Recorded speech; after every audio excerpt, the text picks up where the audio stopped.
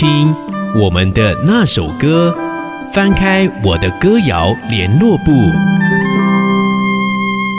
火车已经过车站，阮的目眶已经红。来自屏东的张秀清，为了歌唱的梦想，离乡背井，一个人到台北工作。一九九三年推出的《掐脏》，唱的就是这样子的心情，不但引起广大乐迷的回响，这首歌也成了张秀清的经典代表作。同时，她更以《掐脏》这首歌曲获得了第六届金曲奖最佳方言女演唱人奖。在华语市场当中，像这类描写离别、送别的歌曲不少。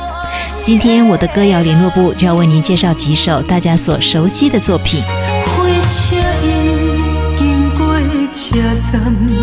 一九八一年，知名作曲人邱晨组成了秋秋合唱团，娃娃金志娟就是在这个时期被发掘的，并且在一九八二年以《就在今夜》这首歌曲一鸣惊人。其实当年唱片公司并不看好金志娟的唱功，甚至还找来了林慧萍跟苏芮试唱《就在今夜》这首歌。但是在邱晨的坚持之下，金志娟担任乐团的主唱，让秋秋合唱团走出校园民歌的框架，为台湾的摇滚音乐开创了一条新的道路。就在今夜，我要离去，就在今夜一样想你。虽然心中难过，但面对你的冷漠，只有轻轻留下一句我想你。就在今夜，我要离去，就在今夜一样想你。虽然心中难过，但面对你的冷漠，只有轻轻留下一句我想你。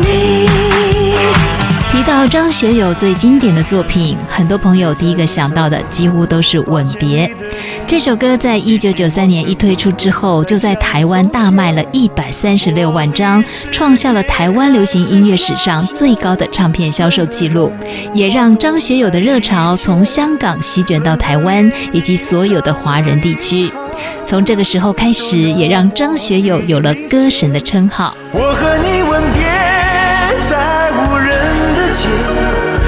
刺笑我不能拒绝，我和你吻别在狂乱的夜，我的心等着迎接伤悲。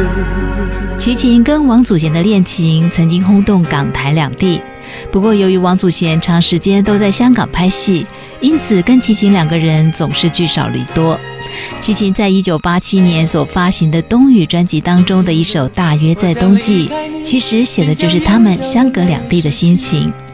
齐秦曾经说过，在创作这首歌的当下，王祖贤就在旁边睡午觉。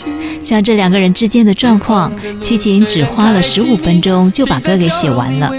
没想到这首《大约在冬季》在中港台三地大红大紫，也成为齐秦的经典代表作品之一。没有你的日子里，我会更加珍惜自己。没有我的岁月里，你要保重你自己。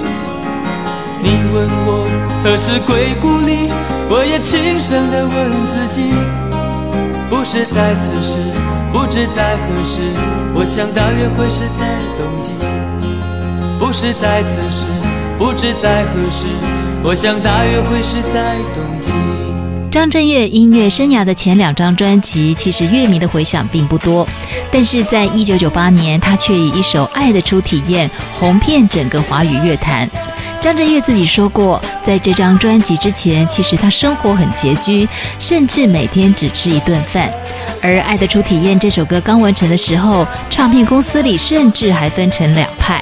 有的人觉得这首歌在市场上可能会找不到适合的定位，听起来怪怪的。但是也有人觉得《爱的初体验》是很大的突破。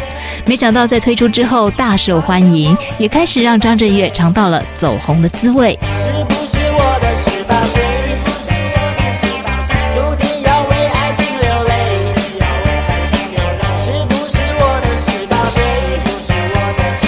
更多怀念精彩作品，请锁定华视每周六晚上八点，我们的那首歌。